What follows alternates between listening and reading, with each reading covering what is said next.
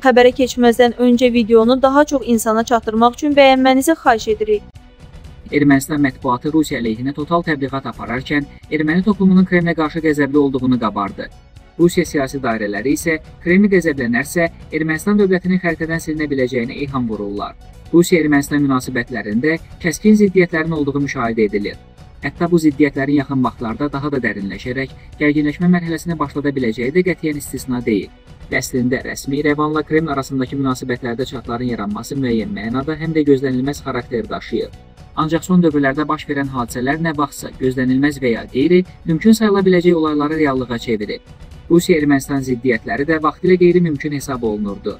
İndi isə inkar edilməz reallıqdır və yaxın gələcəkdə bu iki müttəfiq ölkə arasında çəkişmənin daha da dərinləşə biləcəyi qətiyyən istisna deyil.